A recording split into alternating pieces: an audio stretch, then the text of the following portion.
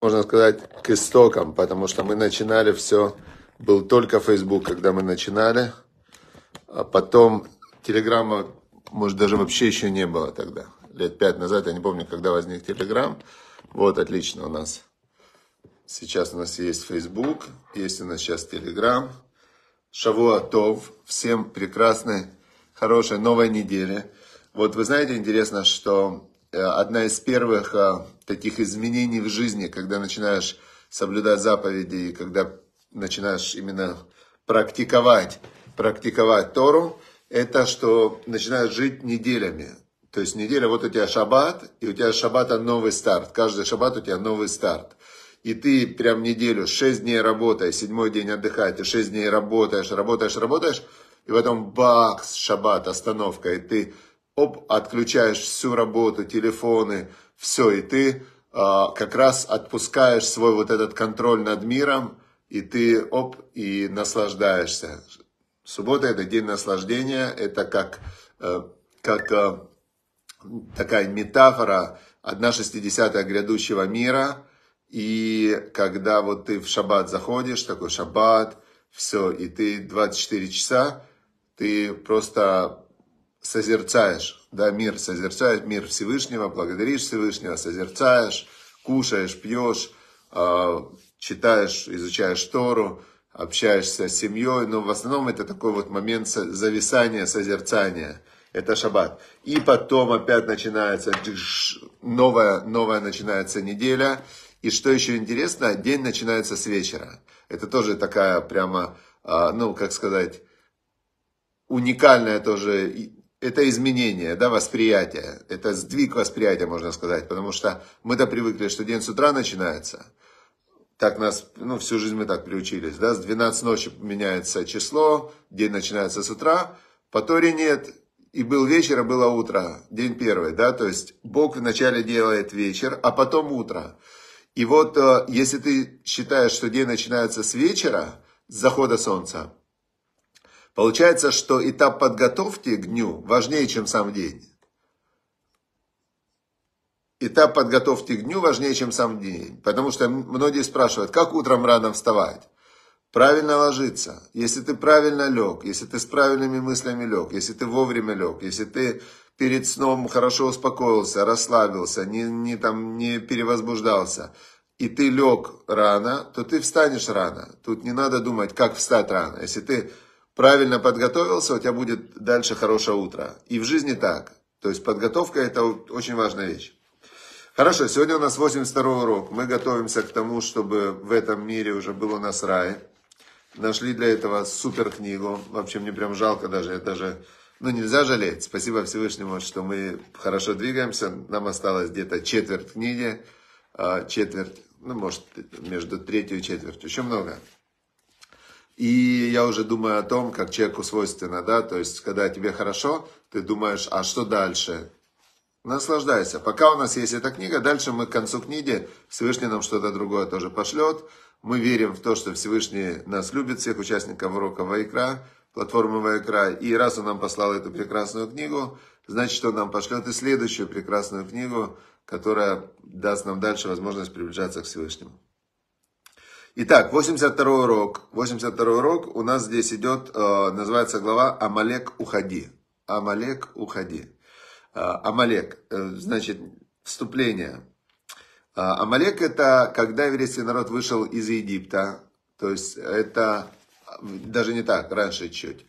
Был Авраам, Ицхак и Яков. Яков получил имя у Бога Израиль, когда он боролся с ангелом и победил. И Израиль это тот, кто боролся с ангелом и с людьми и победил. То есть он побеждал и в духовном мире, Израиль, и в материальном мире.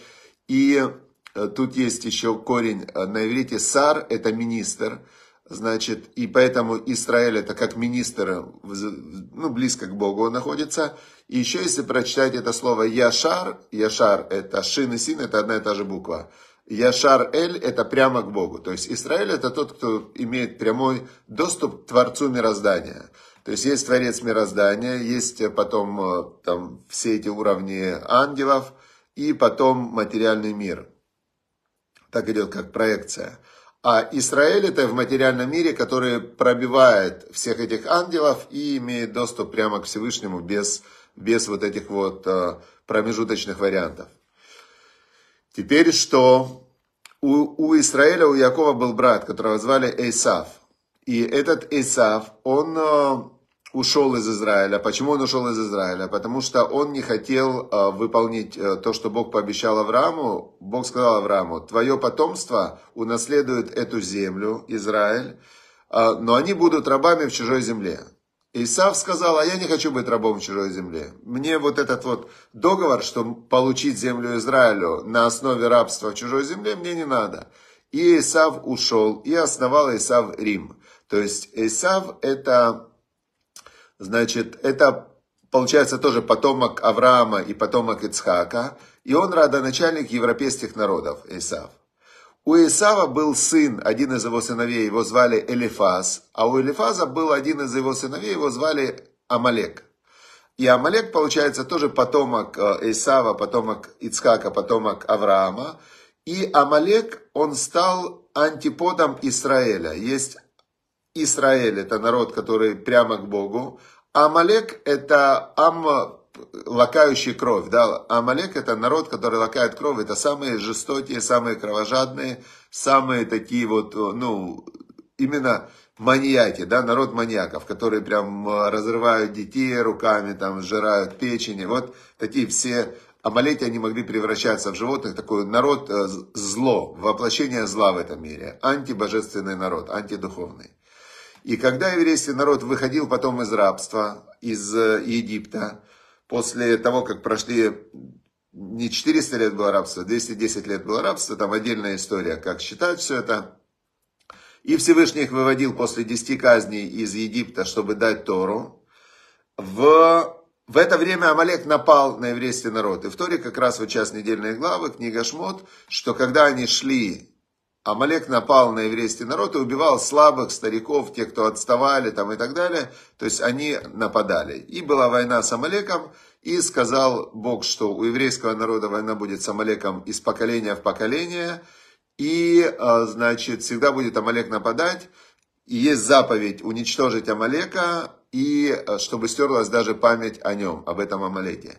И мы видим, что нет сейчас народа, который Амалек есть, э, как бы, ну нет, нет государства Амалек, нет э, народа Амалек. Но периодически в каждом народе пробиваются вот эти вот потомки этого Амалека. Гитлер, чтобы стерлось его имя, значит, был Амалек, например, кто еще из таких вот Амалека? Вот сейчас, которые вот эти вот убийцы, которые прям убивали в 7 октября, это тоже потомки Амалека. То есть они убивают просто за то, что евреи, они их убивают с жестокостью и детей, и женщин, неважно кого. А, то есть это их цель Амалека. И вот тут, э, значит, но народа такого нет. Народ исчез, слава Богу, что мы сумели выполнить заповедь Всевышнего, и народ Амалек, он исчез. Аман был из народа Амалек, кстати, Аман, который в Пуре мы празднуем. И вот э, глава называется «Амалек, уходи». Значит, э, начинает Рав Шаломаруш э, таким, как сказать, стейтмент на английском, вот таким прям высказыванием, да, таким прям аксиомой. Основные приговоры на небесах выносятся за нытье. То есть эту фразу можно прям себе записать, везде поставить напоминалочки. Основные переговоры человеку на небесах выносятся за нытье, за то, что он ноет. И мы видели это в Торе, сейчас он это нам доказывает, когда после исхода из Египта народ Израиля испытывал сомнения по поводу божественного предопределения, и чтобы пробудить евреев к молитве, Всевышний послал Амалека. Как только сыны Израиля спросили, книга Шмот, 17 глава, вот сейчас мы ее читаем, есть ли Господь среди нас или нет? Прям в Торе они спросили, если начали роптать, есть ли Бог среди нас или нет? То есть у них появились сомнения в вере. Тут же и пришел Амалек. Амалек это символ зла и дурных наклонностей, символ всех бед этого мира.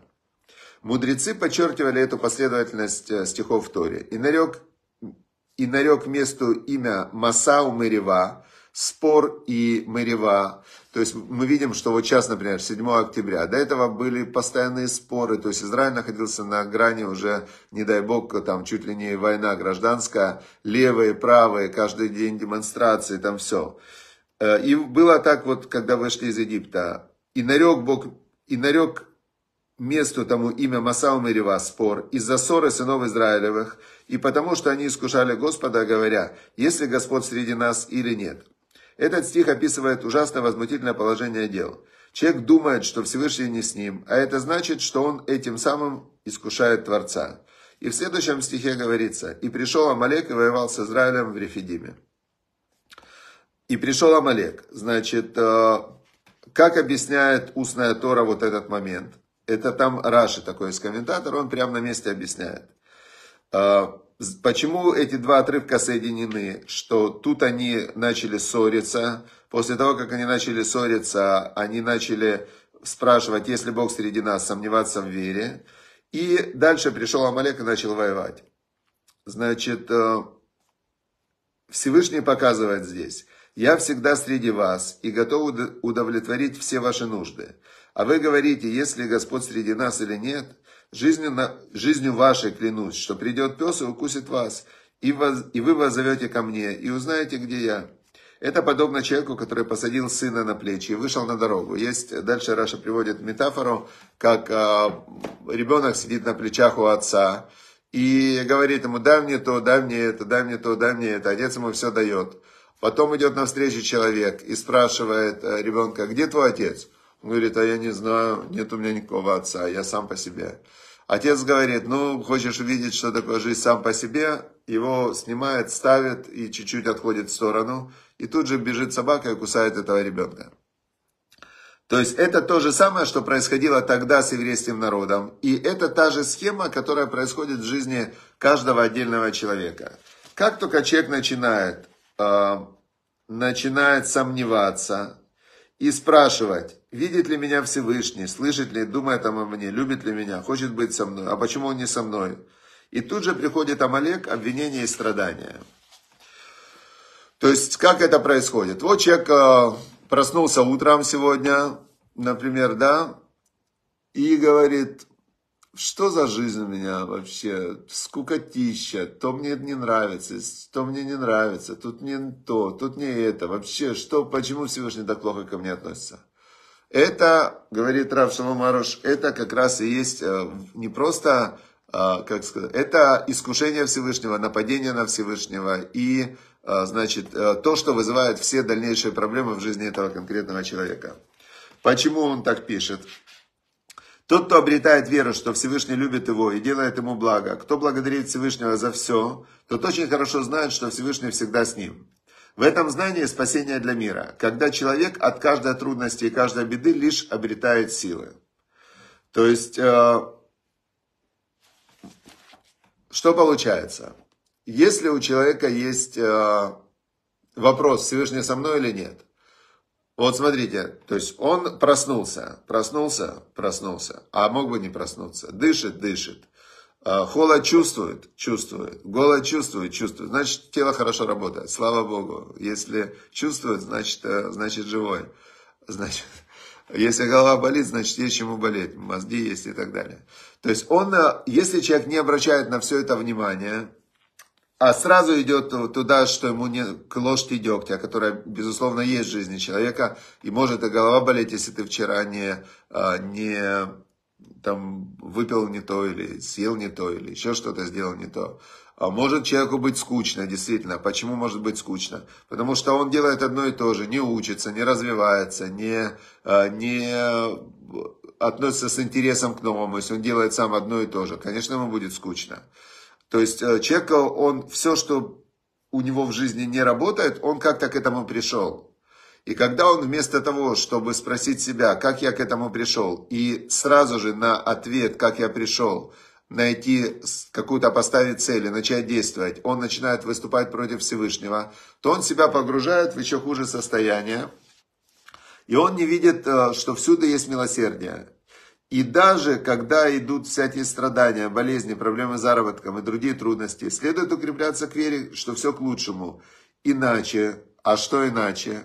А иначе можно ниже опуститься. Что же, то есть это же, если ты, а, если ты, а, значит, а, когда плохо, ты еще и погружаешься в это плохо, и закапываешься в это плохо, то ты же лучше не сделаешь, ты сделаешь только хуже.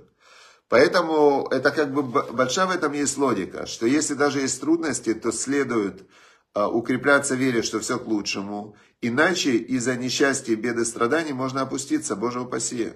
Нужно все время смотреть только на хорошее, следовать вере, что все к лучшему, и благодаря этому обрести грядущий мир. И в нашем мире будет легко и приятно, и можно будет наслаждаться жизнью, данной тебе Всевышним. Значит, э, если, это пишет Рабин Натан, ученик Раби Нахмана, он пишет, в наше время человек претерпевает разнообразные испытания. Это было 1800 год. 1800 там какой-то 20 год, война Наполеона с 1812 год с Россией. Значит, э, ну порох уже был, а электричества еще не было. И представляете, жизнь без зима, электричества нет, отопления нет. Э, значит, единственная возможность согреться, это нарубить дров и разжечь их, эти дрова. И ты все время должен сидеть возле костра, всю зиму, как зима прошла, сидел возле костра. А если не сидишь возле костра, значит должен одеваться. И ты одеваешься не в магазине, ты должен себе пошить этот тулуп и пошить какие-то валенки, которые не прошиты старенькие. Это уже были модные, э, как сказать, инновационные валенки прошитые. А в то время были просто вообще жуть была какая-то, не жизнь. И он пишет тогда, да, в наше время человек претерпевает разнообразные испытания. А, да, и, кстати, если человек заболевал, он тот же должен был уже готовиться к смерти, потому что не было ни пенициллина, не было, не было ни а, там никаких а, аспиринов, там ничего не было вообще. Излечение было только крови, кровопускание. Звали врача, он говорит, ну я сейчас тебе вены вскрою, может тебе легче станет. Вот это было такое лечение, да ну, пиявки там, на крайний случай, если вены не вскрывали, пиявками, да, давай я на тебя сейчас посажу пиявок, пускай тебе полегче станет. Вот, и он пишет тогда людям того поколения, если в наше время человек претерпевает разнообразные испытания, нельзя впадать в безумие, обманывая себя, что из-за бед и страданий ты не можешь служить Всевышнему. Наоборот, все страдания, телесные и имущественные, ведут к великому благу, чтобы именно с их помощью человек пробудился и укрепился. И тогда он обретет хорошую жизнь в этом мире и жизнь в мире грядущем. То есть он говорит, ну что, если даже есть страдания, то, то надо как бы, надо собраться и все равно благодарить Всевышнего за то, что есть. То есть э, вот этот аспект благодарности за то, что есть хорошего, вот, допустим, у человека плохо, э, вот ему плохо, но у него же не все плохо. То есть он же может найти какой-то аспект, который у него хорошо. То есть, если поискать. И вот за это хорошо нужно зацепиться. И сказать, да, Всевышний меня любит, да, Он мне это дает, да, у меня здесь есть, спасибо, спасибо, спасибо а потом перейти на плохое. Да, у меня сейчас болит голова. Ну, спасибо тебе за это. Я знаю, что ты все хочешь мне к лучшему. Наверное, это такой вот месседж ты мне передаешь, что надо там пить бросить, или надо раньше ложиться, или надо все-таки начать заниматься спортом, ходить. А может, мне надо начать делать упражнения какие-то, вот есть шишонин для шеи, такие есть комплекс упражнений, и если его делать, то легче станет. То есть, наверное, все-таки то, что я благодарю Всевышнего, мне доказало, что Всевышний меня любит. А то, что у меня не ладится сейчас, он тоже меня любит. Просто он мне дает месседж какой-то, я просто должен расшифровать и понять, э, что мне делать. А, но просто ныть и говорить, что все плохо, это сделать себе еще хуже. То есть я тогда к одной какой-то неприятности, да, я добавлю еще плюс депрессию, плохое настроение и так далее. Зачем? Поругаюсь со всеми, и что я выиграю? Ничего не выиграю. Поэтому спасибо за хорошее, спасибо за плохое, спасибо, спасибо, спасибо, верю, что все к лучшему и э, ищу выход, вижу выход. И где-то этот выход Всевышний открывает. И дальше он говорит так, Рабинатан дальше пишет. Иногда человек признает истину, понимает, что все страдания милосердные происходят ради его блага, ради приближения к Творцу. Но все же говорит, мне трудно приближаться к Нему путем страданий. Я уже заблудился, отдалился от Торы и заповедей, не вижу пути к Всевышнему. И таким людям Талмуд, э, там он приводит из Талмуда один отрывок, э, что сравнивается там с курочкой, в общем, там целую я пропустил пару страниц, очень сложные там доказательства. Идея очень простая, что курочка, она по зернышку клюет. И поэтому человек, который говорит, я не могу делать упражнения, он должен сделать один раз. Когда человек говорит, я не могу делать заповеди, он должен сделать одно, там, не телать едаем омовение рук. Когда человек говорит, я не могу, не могу эти молитвы учить, он должен выучить первое слово. То есть а, вот этот вот момент, я не могу а, двигаться к Всевышнему, я не могу соблюдать заповеди, он дает на это ответ, можешь. Можешь просто найди, как курочка по зернышку, и потом эти зернышки складываются, что курица становится очень плотная, да? По зернышку также служение Всевышнему. Начни, сделай одну заповедь, вторую заповедь, тут помолись, тут прочти благословение. Тут э, э, там э, в шаббат, скажи, да, я шаббат не могу пока соблюдать. Ну, час ты можешь соблюдать шаббат? Можешь. Начну с часа, а там посмотрим. А вот я не могу на обрезание сделать. Ну, значит, тут я, правда, не знаю микродозу обрезания, но но какую-то попробуй как-то. Что значит не можешь обрезание сделать? Что значит не можешь? Это все могут, а ты не можешь. Это не работает так. Все, я в 26 лет сделал обрезание. Делают люди обрезание. Мой папа сделал Зихраноли Враха. В 72 года мой отец сделал обрезание.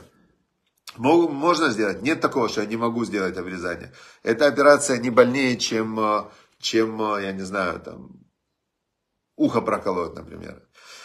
В общем, а, курочка по зернышку, благодарность э, за хорошее много. И вот тут мы переходим как раз... Оп, видите, поймал телефон вообще, представляете? Слава Богу, спасибо Всевышнему, какая реакция. Прям падала, а я прям как этот самый, как, не знаю, как то, как гепард, наверное поймал телефон.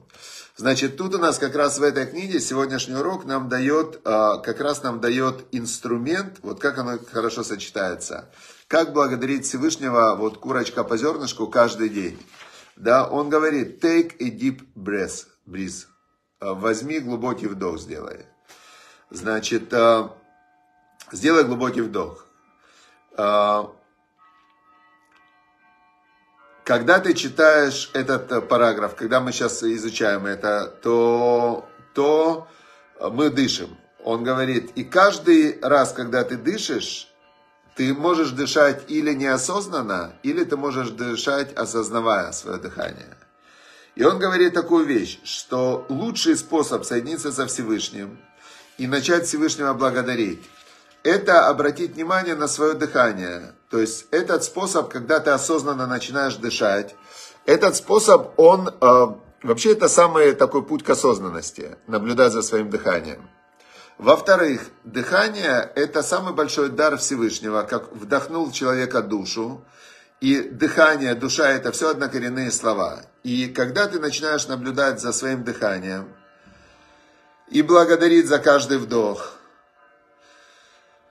благодарить за каждый вдох, потому что не было бы следующего вдоха, не было бы жизни, то в этот момент, во-первых, за это надо благодарить. Есть известная история, как один человек во время коронавируса в Италии попал в больницу, и у него не было страховки. И его подключили к аппарату искусственная вентиляция легких. И он лежал на этом аппарате две недели. И когда он вышел из больницы, ему дали за этот аппарат э, счет 1000 евро в день за день пребывания в больнице. Он получает счет 14 тысяч евро. Он говорит, у меня денег нет платить за это. Это я был, э, не было у него страховки и так далее. Я не знаю, чем закончилась в финансовом плане история, но для него эта история закончилась очень хорошо в духовном плане. Он задумался и сказал, если я в день, вот если я сам не могу дышать, то тогда мне стоит, чтобы мне помогали дышать, тысячу евро. Но я же каждую ночь, я сплю, я сам осознанно не дышу. И целый день я, в принципе, тоже осознанно не дышу. Значит, получается Всевышний мне помогает каждый день дышать и дает возможность моему телу, моему организму дышать. И стоит это 1000 евро в день, если бы мне помогали в этой больнице итальянской. Значит, 365 тысяч евро в день, в год. Значит, за 10 лет я надыхиваю на 3 миллиона 600. Э, на 3 миллиона 600. Да? Он говорит, представляете, сколько мне Всевышний дает только через дыхание. И он из-за этого стал более благодарным и более верующим. То же самое можем сделать и мы. Стать более благодарными, более верующими через дыхание. приучить себя благодарить за каждый вдох, через это почувствовать и осознать, что Всевышний всегда с нами, в каждом вдохе Всевышний с нами. И когда у тебя отпадает вопрос, со мной Всевышний или нет, ты осталось только поверить, что все к лучшему. И осталось только вот этот маленький момент, когда ты находишь ложку дегтя в своей жизни, за нее тоже поблагодарить. И тебе откроется, что тебе надо изменить для того, чтобы эту ложку дегтя убрать. Вот и все. Все, спасибо всем огромное, что вы приходите на уроки Торы. Спасибо, что вы начинаете применять то, что мы здесь изучаем. Спасибо, что вы пишете в комментариях. Я с такой радостью их читаю что с вами в жизни происходит. Я когда размещаю урок в Телеграме, там есть э, табличка, даже если вы ее уже заполняли, можно еще раз заполнить. Я читаю эту табличку все время, я сейчас даже добавлю там отдельно сообщение, можно, хотите мне лично что-то сообщить, я сейчас добавлю туда в эту табличку, что я буду читать тоже ваши сообщения. И, значит, э, все, всем спасибо огромное, с Божьей помощью. Завтра встречаемся, в, так же, как сегодня в 10 утра. И целый день благодарим Всевышнего за дыхание, за, за все остальное. Уже не сомневаемся, что Он всегда с нами. И а, верим, что все только к лучшему. И в заслугу этого придет шалом в душе, шалом в отношениях с окружающими и шалом в мире. Молимся, продолжаем молиться, чтобы закончилась война, чтобы мы прям вот прям отпраздновали. Так мы будем шалом праздновать. Я уже прям вижу шалом, как заканчиваются все военные действия в Израиле, в, когда закончатся военные действия в Украине, в России, то мы будем праздновать с вами шалом, потому что самое ценное, что есть в этом мире, это шалом. Все, всем удачи, успехов. До завтра.